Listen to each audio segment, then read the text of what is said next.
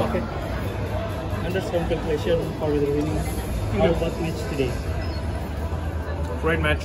Um, difficult opponent. Very tough. The world champion, so very proud to beat him uh, in straight games. Uh, you look easy to beat him. Of course, it wasn't easy. He's a very, very good player, but I think I was just solid throughout the whole match, uh, making few mistakes and fighting very hard. So yeah, very, very, very happy. How about Istora boys uh, goes to final tomorrow?